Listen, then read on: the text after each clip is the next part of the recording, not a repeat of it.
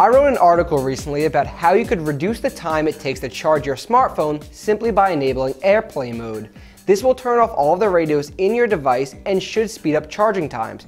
But what kind of improvements are we talking about? I'm Dan Graziano and in today's how-to, we're going to see just how much time you can save by charging your phone in airplane mode. Charging times will vary based on the size of your battery, the charger you're using, and even the cable. For this test, I will be using my Nexus 5 smartphone, which has been drained to 1% battery, and this charger that outputs 2 amps at 5 volts. To keep things consistent, I will be using the same exact phone, the same charger, and the cable for both tests. So let's get started.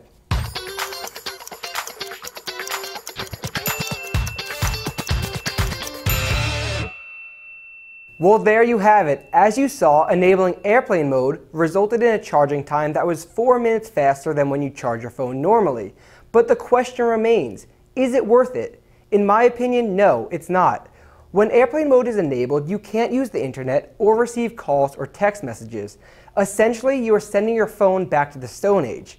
I did find in an earlier test though, one in which I used a less powerful charger and only charged the phone to 50%, that airplane mode gave me a charging time that was 12 minutes faster. So the debate continues. As I mentioned, charging times will vary based on the size of your battery, its health, the charger you use, and even the cable.